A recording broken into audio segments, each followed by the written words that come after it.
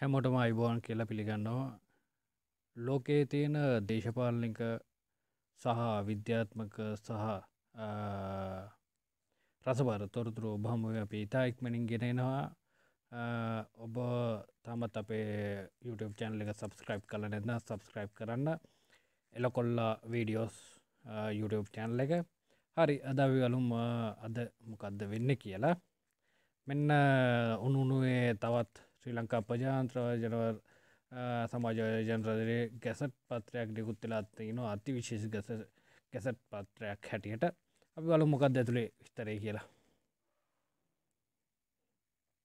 හරි.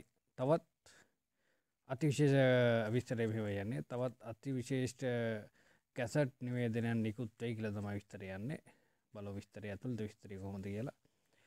ජනමාධ්‍ය හා ජිට යටතල පහසුකම් විෂයට අයත් සියලුම ආයතන නිපුණතා සංවර්ධන හා වෘත්තය පුහුණු අමාත්‍යංශය යටතට පවරා තිබෙනවා.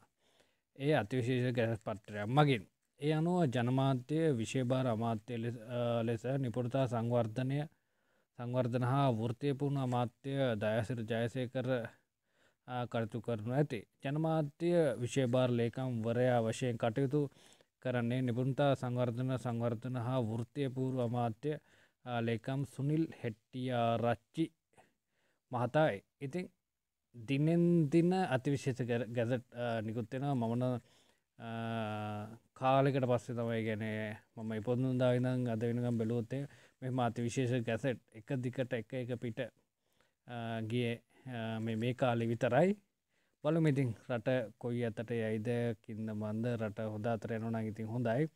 බලමිතින් පිස්රට මොන වගේ දෙයක් වෙයිද කියලා හැමෝම තරන් කරන්නේ කොහමරි බලය තමන්ගේ බලය රැකගන්න බලය ගත්තර පස්සිතින් උදව් කරපු ජනතාව පැත්තක ප්‍රජාන්ත්‍රවාදී සමාජවාදී ජනරජය උනාට මේක ප්‍රජාන්ත්‍රවාද යන්න ඇත්තනම ඇත්තෙමනෑ ඒගොලු චන්දය ගත්තා. ඊට පස්සේ මිනිස්සුම්ම පාගල දැම් ඕක තයි වෙන්නේ.